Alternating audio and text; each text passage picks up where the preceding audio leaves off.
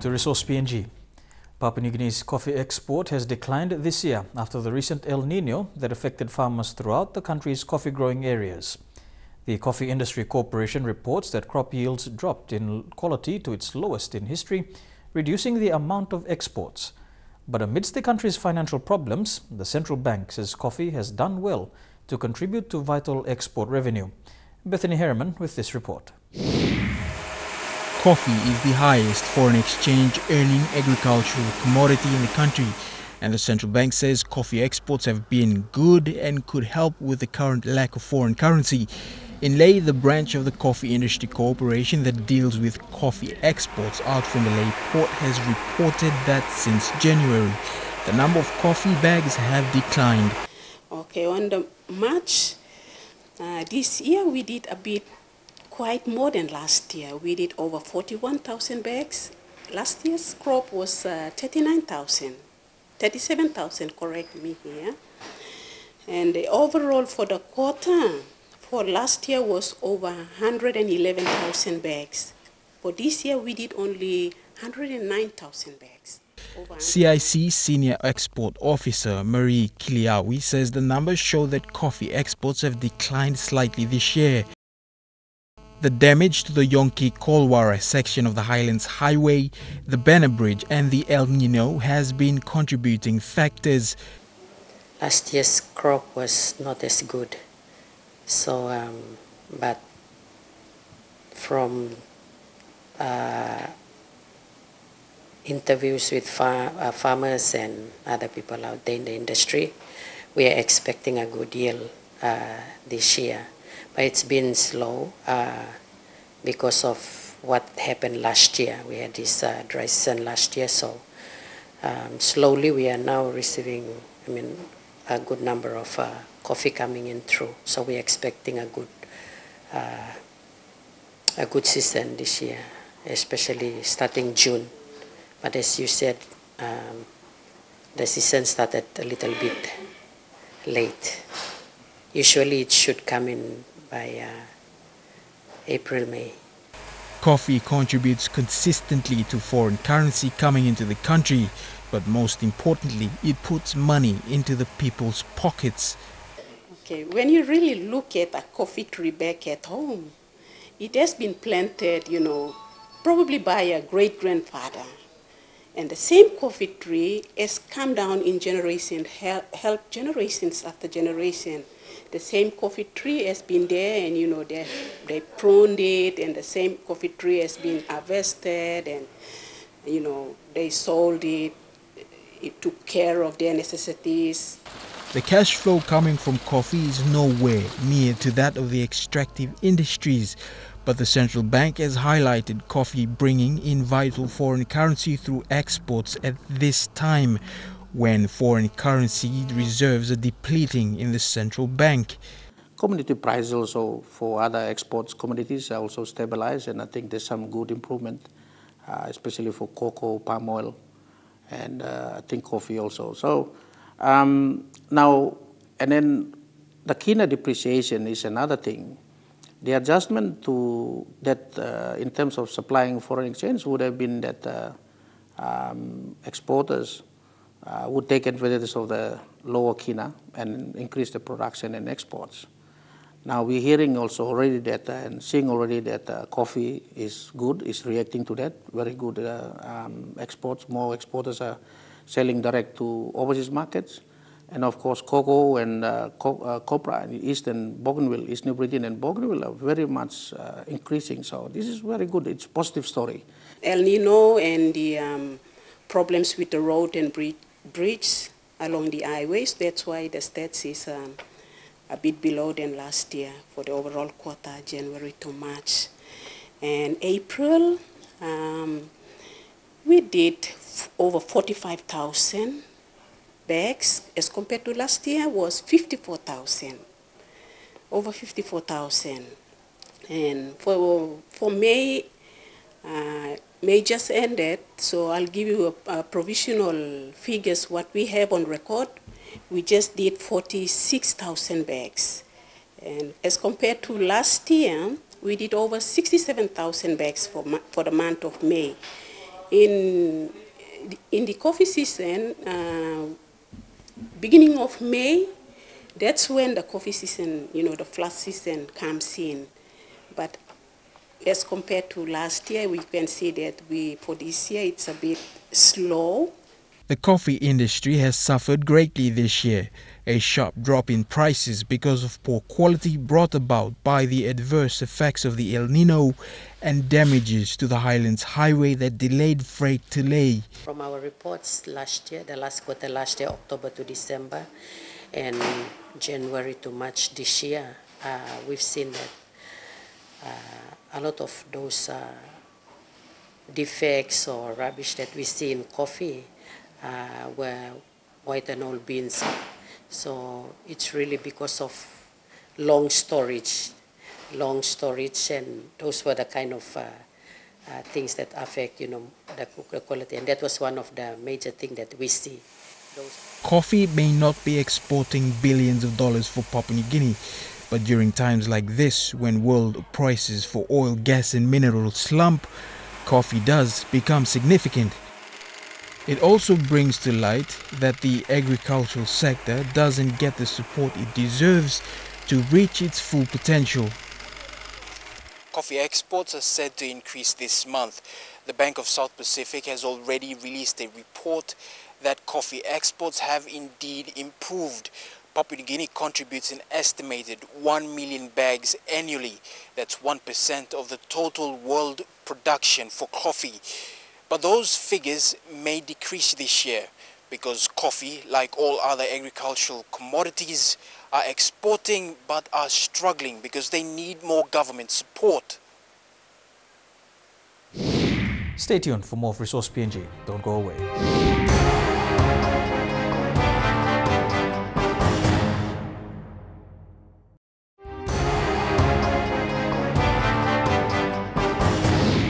Welcome back to Resource PNG. To some news from Interoil, and this week the company held its annual general meeting. Moves by the founder of Interoil in regaining control of the board of Interoil have been unsuccessful following the company's AGM. Shareholders of Interoil have overwhelmingly voted to re-elect all eight directors put forward by the current board of the company, rejecting the nominees put forward by the company's founder and former chairman and CEO, Phil Mulacek. Here is an update. In an announcement to the markets this week, the re elected board thanked shareholders for having confidence in them to serve another term, saying the results of the AGM underscore the recognition by shareholders of the steps that the current board and management team have taken to transform Interoil. The re elected board members include Chairman Chris Finlayson, CEO Michael Hession, and Executive Director Isikeli Taureka. In what has been described as the biggest deal in the oil and gas industry in Papua New Guinea, the proposed acquisition of Interoil by Oil Search has been welcomed by many, both locally and abroad. Since the announcement of the proposed acquisition in May, Interoil has also had to deal with its own in-house battle. Former chairman and CEO Phil Mulacek has been leading a group of shareholders in a bid to gain control of the board of Interoil. Mulacek recently went to the Canadian Supreme Court in a bid to defer Interoil's AGM, but this proved unsuccessful. The AGM went ahead, with shareholders voting to re elect the current board nominees of the company. Interoil has now also resolved to convene a special meeting of shareholders on July the 28th to vote on the proposal put forward by Oil Search. Many analysts point to the fact that most shareholders have already agreed in principle to the acquisition by Oil Search and expect this deal to be agreed to, paving the way for Oil Search to become Papua New Guinea's first major oil and gas company. On the local front, this move by Oil Search to acquire Interoil has also received support, particularly from government. Prime Minister Peter O'Neill has thrown his support behind this deal, as well as Petroleum and Energy Minister Ben Micah until we set these things up, you know, the state and the people of PNG mostly receive our benefits from royalties and tax. And uh, one school of thought in the politics, to the leaders, is that government should not become involved in private sector. You know, we should just collect our uh, revenue from tax, duties, and other fiscal arrangements that uh, are inbuilt into the projects. Private sector must invest, private sector must manage, own, and drive the development of business in the economy. We acknowledge that and, and thank you and congratulate you for the achievement which has now resulted in this kind of uh, you know reports. You know, makes me very proud to be seeing you at table in your first idea, You know, something like this.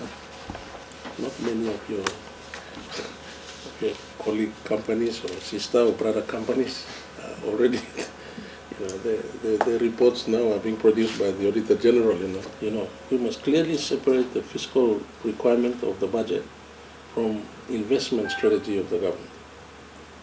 Investment strategy is to continue to add value, you know, to what we are getting from these projects. So when the oils are dry, the oil wells are dry and the gas is gone, you know, we have something there that we can touch, we can see, and continues to stabilize inflow of revenue from investments that have been established uh, from reinvestment of this uh, monies. You see, I am very, very concerned. On the commercial front, state company Kumul Petroleum Holdings Limited has also shown its support for this deal to go ahead. Speaking at its recent annual general meeting, KPHL chairman Frank Kramer as well as Managing Director Wapu Sonk, are optimistic of the opportunities that may present themselves as a result of this acquisition going ahead.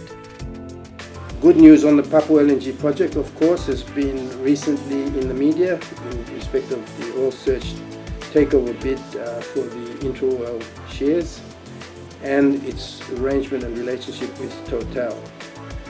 There are potential cost benefits and synergies in this rationalization exercise. And um, we as Kumul Petroleum are very, very happy to see government support for this initiative and uh, we stand ready to represent um, the state's interests in how Kumul Petroleum can participate in this exciting opportunity. Future projects, as you know, will continue to expand into, into the project. We're working on P'nyang uh, very closely with ExxonMobil. Uh, we're working, U.S. Minister, you've given us the timeline uh, to work towards, so we're working closely with ExxonMobil and uh, government agencies to, to deliver that P'nyang project. Hopefully that will that will maintain 8 million ton per annum uh, when, the, when the license is granted and we will be able to actually develop the upstream infrastructure uh, to, to expand the project. And then Papua LNG is the next one uh, that we're working with Total on. Uh, that's going through survey work and you know, uh, social mapping and different work that you're already aware of.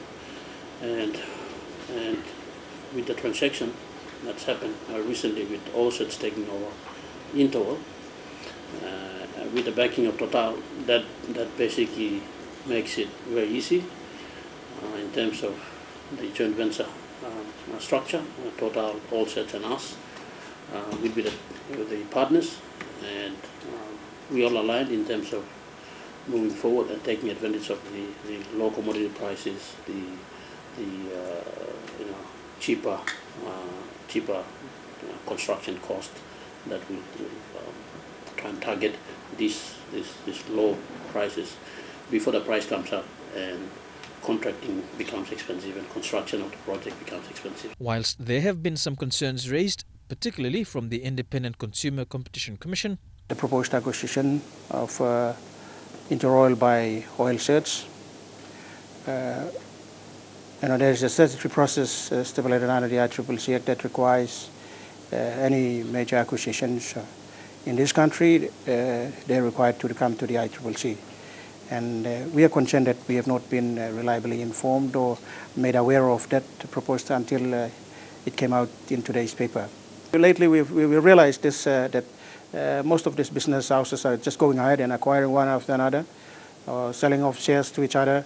And we've been uh, very silent on this one because uh, the ICCC Act has been uh, uh, is not very mandatory for them to come to us, and that is why. So we've lately shifted this one to make it mandatory. So everyone will now be coming to the ICCC for any major acquisitions. And Search has stated that they will continue to ensure all parties are involved in discussions for this deal before the deal is sealed. Well, I think firstly, um, this deal allows us to be substantially more influential in making sure that the next phase of development uh, in PNG for LNG is done in the most capital effective, the most timely way. We do genuinely believe that with cooperation between the two projects, we can reduce the capital costs. That means that, that um, the tax that we pay as a developer will be higher and will be will result in more benefits coming back to the state. That's just one aspect. We can also we also believe that with cooperation we can accelerate development I say address some of the economic needs through a large scale investment in PNG, bringing jobs, bringing uh, skills, uh, in, in, a similar way to how PNG LNG was back in 2010. And let's face it, we need that stimulation in the economy mm. to really drive growth and allow us to collectively deliver services that are so desperately needed by our people. You're watching Resource PNG. We will be back with more after these messages.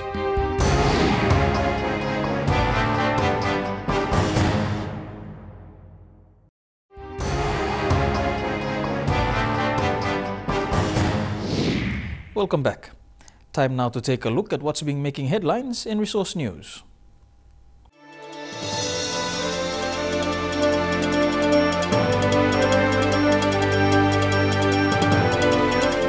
Imagine drinking water from this river. For the people of Jiwaka province, having access to clean water has been almost impossible since the El Nino experience in 2015. They've been obtaining water from Wahgi River. Agriculture has also been affected. Struggles of individuals to obtain water and food have led to a number of deaths.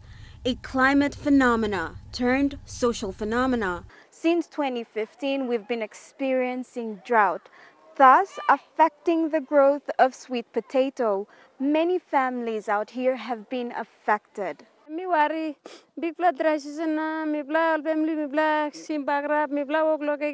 Gongo plan kawo Weather patterns have returned to normal. However, agriculture production has not improved due to months of water shortage.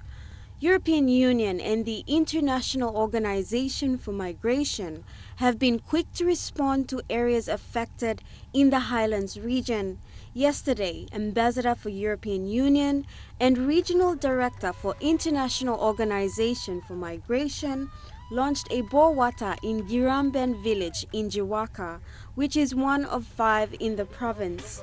Both organizations are also supporting affected communities with planting materials and seeds required to build garden staples. These special provisions, which is at the order, I would say, of 20 million kina, only this year to support uh, the government efforts and the efforts of the provinces and the different departments to facilitate the resistance and resilience of local population against the drought and against the El Nino. And engagement with the community is part of the core approach of IOM. Our strategy of IOM's projects, particularly for the water, the boreholes here, is really engaging the community. It's a shared responsibility.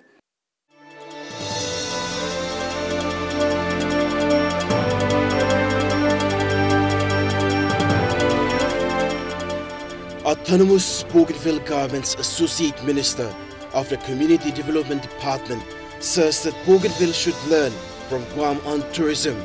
The minister accompanied the Bougainville Group, who was part of the Papua New Guinea delegation to the 12th Festival of Pacific Arts in Guam. Mr. Sawa says that Guam is a resourceless island territory without mining oil or petroleum, but it's only through tourism that generates 60% of its revenue that the government sustained its economy. They are attracting a lot of uh, visitors all throughout the world, which uh, they're coming in to, uh, to see what's here in, in, uh, in Guam. And we have seen the hospitality industry, the sightseeing on their beaches, all these happenings are attracting and stimulating the process in uh, tourism. Mr. Sauer says that tourism is a great market and Bougainville has many products which must be explored. And if tourism is prioritized, it will be a major economic drive for the region's internal revenue. Bougainville, so I believe that as a government, we need to take uh, into consideration by promoting tourism. The pot of gold in tourism needs it's an untapped uh, resource that we need to tap into to, to actually subsidize or sustain our economy to to look after the budget that that can actually take care of our population. So, because of the financial hardships encountered, Mr. Sauer says that the autonomous Bougainville government must be self-reliant.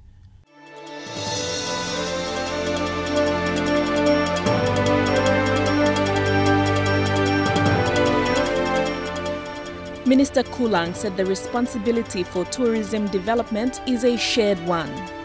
He said provincial governments and district development authorities need to understand that they play a key role and need to develop their own tourism plans for the provinces and the districts. The Tourism Zone Initiative is the national government's effort in lifting the profile of PNG as an ideal tourist destination.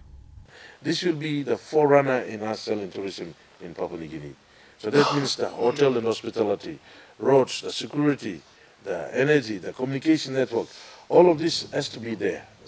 In May, Minister Kulang attended the first World Conference on Tourism for Development Summit Forum in Beijing, China, where the United Nations declared 2017 as the year of sustainable tourism development. Okay, that is emanating from the fact that 2015 tourism uh, contributed 10% to GDP. Okay, global. Uh, like Fiji, it's 35%. Some others like higher than 10%. So we are in a world where tourism is seriously contributing to uh, uh, country's growth in terms of economic contribution. It's 10% on average. And in PNG, it's a mediocre 2% when we've got so much to offer. He commended Kokopo and the East New Britain provincial government and stakeholders for advancing their master plan. Minister Kulang and his team will be in Alotau this week to ensure they are well into their tourism master plan development. The minister will also be sending out teams this week across the seven highlands provinces to account for the region's tourism products and destinations. We are going to host the, probably the first time biggest tourism conference in, in the highlands in Mount Hagen. We would like to advise the community that especially those places that we are going, uh, we want the stakeholders to start to rise up and see uh, the new direction tourism is taking in this country. He said the Tourism Development Initiative will ensure PNG comes on par to capture the opportunities that international tourism is providing in terms of contribution to economic growth, job creation, and poverty alleviation.